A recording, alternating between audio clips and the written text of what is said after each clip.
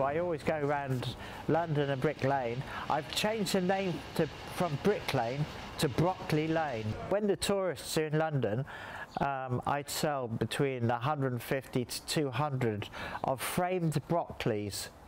And every week I put more broccolis out because people used to come along and take the broccolis off the wall and send me messages saying, we've got one of your broccolis, all excitedly.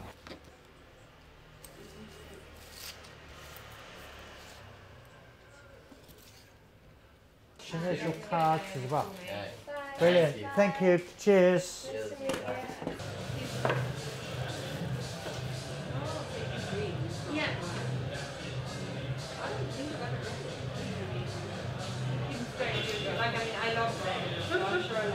I love broccoli.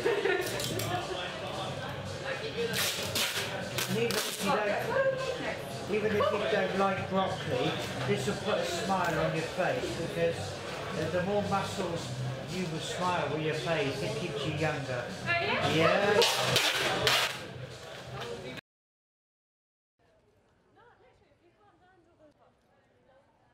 Being an artist, I mean, I think most people realise at some stage in their life that art is something that they're going to be doing um, because um, I've always seen in pictures, I've always, I've, I've well, I'd say I've never been very really academic, um, and I've always been a dreamer.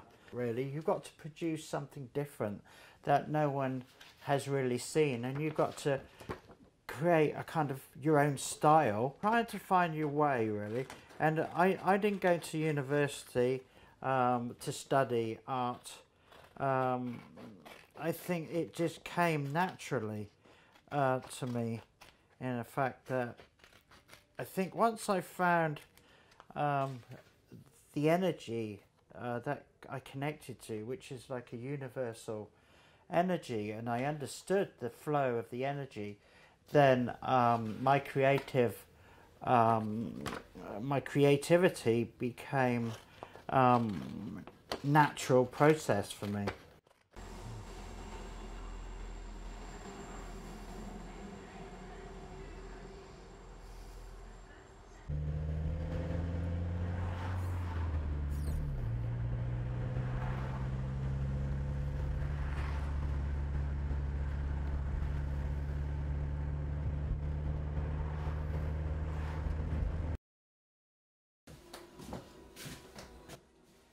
How long have you been work with the studio? Uh, I've been working in this studio for about uh, 13 years and um, ever since we moved into this house this has been my studio. Uh, we built this 13 years ago. It was just garden before but then put this here. Um, and this picture over here was one of the first, well it was the first collage that I did.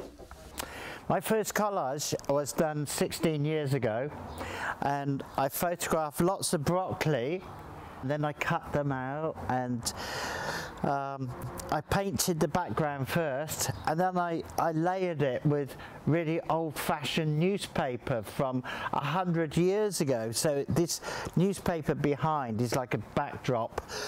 Um, then I painted in the big silver moon and with all my cuttings that I've amassed over quite a few years I started to collage this one here. I very rarely work on one picture but I worked on this one the first one I worked on all by itself and um, it became the broccoli jungle. And it's it's a little bit um, I've been influenced by Monty Python, Salvador Dali and Hieronymus Bosch. Um, Monty Python was really humorous so I've added um, two monkeys on the rock getting drunk and a giraffe going into a telephone box. And um, if you look more you'll see more little things poking out like the dinosaur. Um, and it, it just became a really fun picture to do. And um, I think there must be about maybe 500 to 1,000 prints of this around the world. It's one of my fastest selling prints now, the Broccoli Jungle.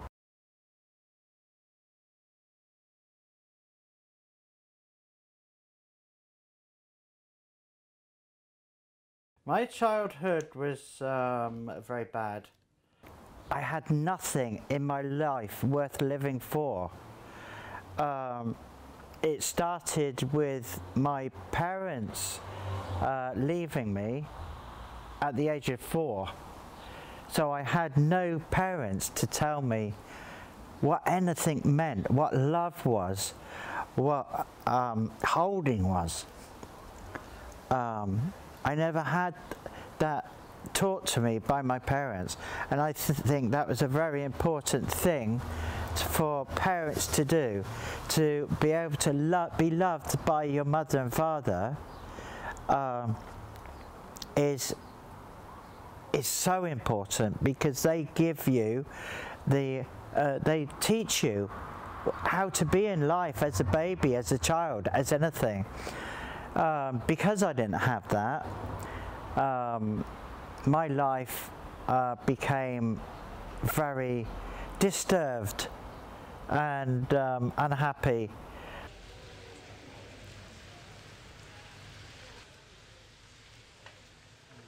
My father uh, went to America when I was about four years old and he never came back.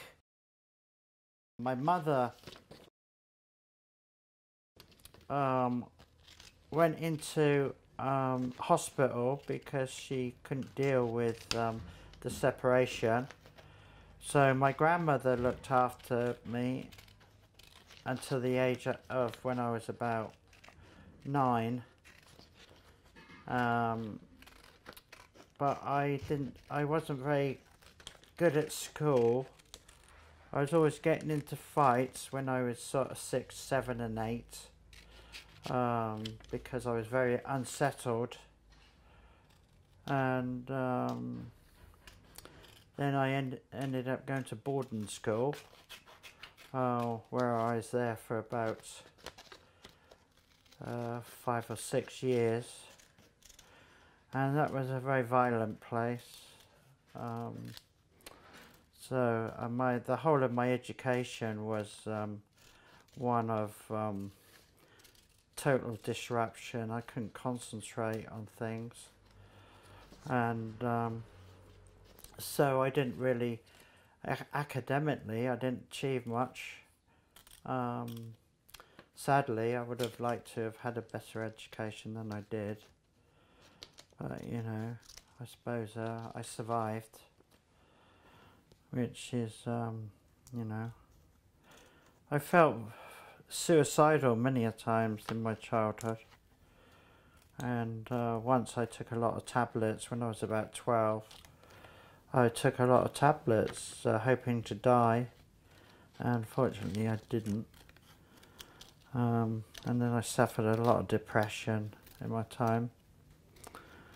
Um, so it wasn't very easy, no.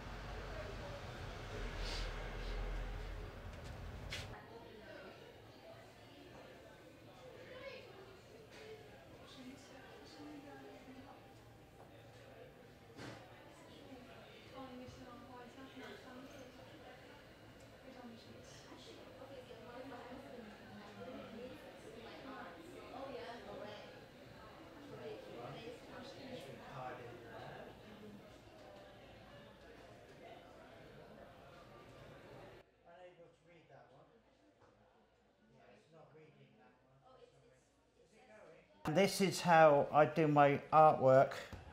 I work in the subconscious. Um, I work in like a dreamlike state and um, when I'm working in the dreamlike state, I can be there for hours and hours and hours. And it's like a meditation. And um, when I'm creating, I'm creating deep in the meditational energy field, which, which means I can sort of let go of, of everything in the conscious mind. Even pain seems to go away when I'm in the subconscious mind and when I'm, when I'm creating artwork. Uh, all my pain seems to go away. And um, I could be in that state for hours and hours just creating artwork. And um, when I'm there, it's like I'm not actually doing the artwork. It's almost like the energy of the universe is doing it, and I'm just used as a vessel to create the work. And um, I can be there for hours and hours and hours. And uh, when I come out of that zone, back into the conscious mind, and I look at my own work and I think, Christ, who did this? Because you don't see, where I work on up to 20 pictures at the same time, um, you don't see the big picture of any of them. So it just happens um, automatically. So it's automatic creativity which I go through. And um, this is uh, what all my artwork is about. I mean, when I'm creating the work, I go to a place where I was carefree. And when I'm working, it's like I'm I'm a seven year old kid again in a swinging park. Carefree days of just going from a slide to a swing, then a roundabout, enjoying the summer sun with nothing to worry about. And um, that's, that's where I am. And then I come out of that zone, I have to come back to reality.